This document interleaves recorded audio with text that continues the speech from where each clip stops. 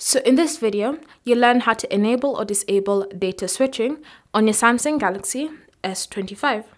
So in order for you to be able to use this feature, you have to have at least two SIM cards added onto your phone. Once you have those two SIM cards added onto your phone, you can now enable or disable this feature. So this feature allows you to switch between both SIM cards whenever your internet strength for mobile data is weak.